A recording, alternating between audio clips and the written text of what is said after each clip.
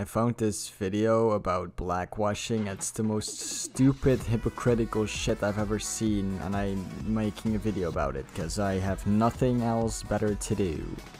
So yeah, let's uh, let's let's do the thing. Whitewashing is a problem. From Liam Neeson in Batman Begins to Scarlett Johansson in Ghost in the Shell, and well, pretty much any U.S. anime adaptation ever. Dragon! I mean, like, to be fair, most US live action anime adaptations, besides being shit, they're almost all like set in America, and most people in America are white, not Japanese, so that makes sense. Whitewashing is when Hollywood takes a character who was a person of color in the source material and casts a white actor for the final portrayal we see on screen. But what about when a white character is played by a person of color on screen?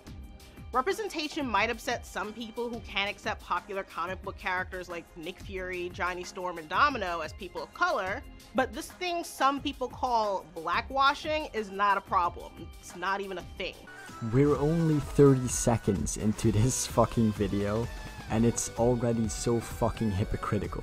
Oh, when we change a black comic book character, for example, to a white person, that's racist, but if you take a white comic book character and turn them black, that's representation. Shut the fuck up. Whitewashing is when Hollywood takes a character who was a person of color in the source material and casts a white actor for the final portrayal we see on screen. If you take that exact same sentence and you just change the words white and black, it suddenly doesn't exist anymore. It's not a problem. But let's start with why whitewashing is so harmful. Despite all the amazingly nerdy movies and shows coming out in the recent years, fuck the live action Death Note movie. It literally ruined one of my favorite series of all time. Fuck you for even showing me and reminding me it fucking exists, you piece of shit. People of color are still barely represented. Look at any random trailer or poster, and odds are you'll usually see a white person as. I mean, maybe that's because you just showed a bunch of movie posters with characters that are white in both the source material and the movie. What, you want fucking black Batman? Fuck you. No. No black Batman. Lead. So when Hollywood takes one of the few examples of canon representation that we do have and cast a white person for whatever reason, you're taking away an opportunity for us to be seen. For me personally, this was especially egregious in the Avatar The Last Airbender movie. I was very attached to the show's character Katara, from her dark skin to her great big poofy hair. Dark skin to her great big poofy hair. Big poofy hair. What big poofy hair? Katara doesn't have big poofy hair. She just has regular, like, straight hair. Also, don't tell anyone I told you this, but Katara isn't black. Shh. It see in Avatar, every single one of the four nations is based on an Asian country and culture. So uh, the air nomads are Tibet, and uh, the Fire Nation is Japan. The Earth Kingdom is China, and the Water Tribes are Inuit, which I guess Inuits don't live in Asia technically. Well, I mean they live in part of Siberia, which is technically in Asia, and they look pretty Asian as well. So Anyway, your biggest problem with the Avatar movie should not be what color the actors are. It should probably be the fact that it's absolutely fucking shit. Everything about this movie is bad, okay? The acting is bad, the visual effects are bad, they've butchered the fucking story. It's just awful. It's it's it's it's literally the worst adaptation fucking ever. And the fact that her mom had the same name as me. I was crushed when I saw white actress Nicola Peltz in the movie adaptation because it erased the aspects of Katara that I saw myself. On the other hand, having a person of color play a previously white character isn't taking away white representation. No, it isn't, but you know what I see when I see a black Achilles or a black Ariel? I don't see representation, I see, oh, they changed the character I liked so that someone else in the audience might feel special for two minutes. If you want more black characters in movies, how about you create new stories with new characters that are black instead of changing old stories to fit your fucking political agenda? It's creating new representation and role models for people that Hollywood has ignored for too long. When Michael B. Jordan took over as the Human Torch, it opened a door for a new narrative in which a black man and a white woman could be siblings long before This Is Us made us sob every Tuesday night.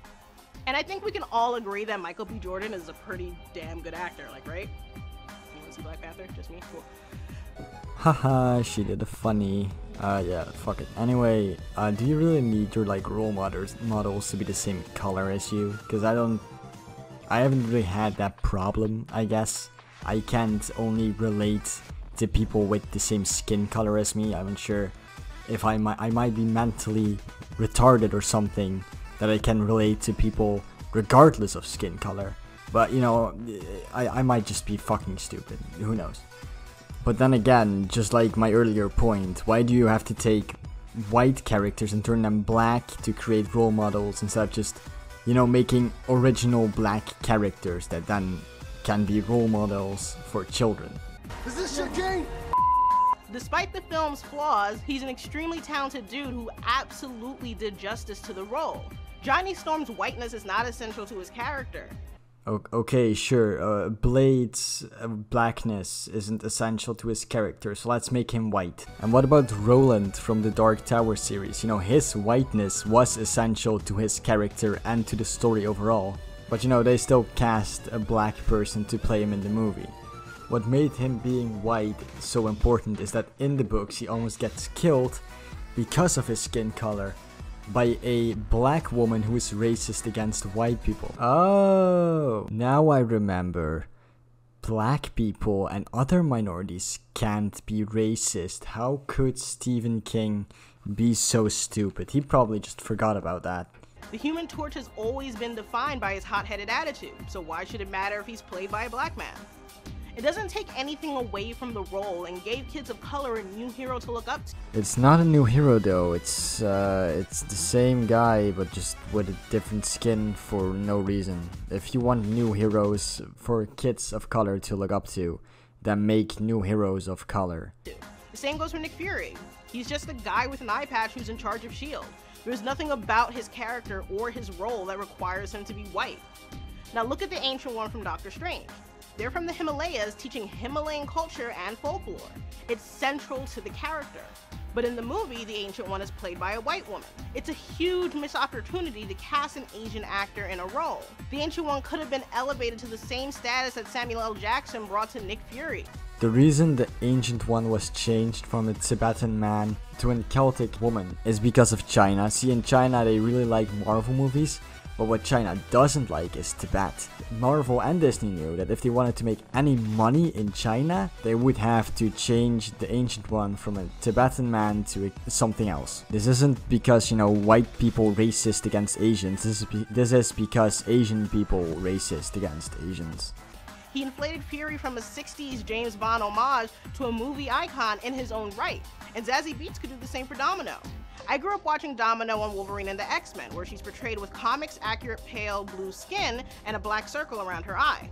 Now, she's a black woman with natural hair and her traditional look is still there right down to the eye tattoo. It's just inverted now. But again, Domino in the comics isn't defined by being a white woman. It's not part of her character in any way. I thought you just said she was blue. Casting a black actress does nothing to damage the Domino we know. In fact, it just gives black nerds like me someone else I can cosplay as, someone who I can see myself in. Again, I think it's kinda sad that you can only see yourself in and relate to people with the same skin color as you. That's kinda fucking weird, but you know, again, maybe I'm fucking mentally handicapped, I don't know. And then, you know, again, you can cosplay as people that aren't the same skin color as you. I, I've seen plenty of people do that, so that's not a problem someone who I can watch on screen and feel represented. You can call it blackwashing, race bending, or whatever the hell you want. I just call it a good thing. So there you have it, people. If a white person plays a character that in the source material is a person of color, that's bad. But if a black person plays someone who in the source material is white, that's good, that's representation, that's not a bad thing at all, you guys. What do you mean hypocritical? Also, if you're watching this video and think I'm racist, I'm actually part Indonesian, therefore I am a victim and a minority That which means that I win the argument. Okay, fuck you, unlucky, GG, well played.